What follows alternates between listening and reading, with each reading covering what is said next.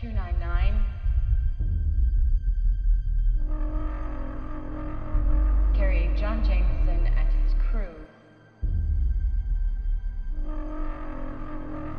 Has broken up upon re-entry into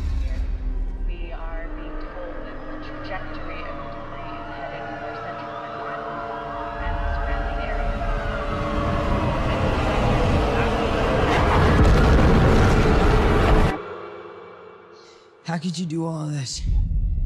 You'll see, Peter. People need to believe. And nowadays, they'll believe anything. Spider-Man's name is Peter Parker.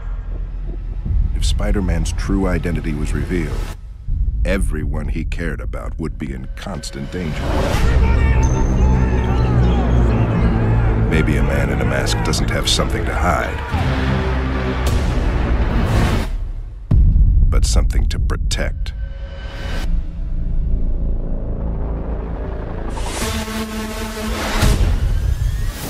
I get out of here.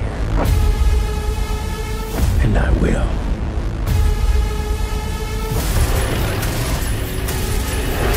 There's gonna be carnage.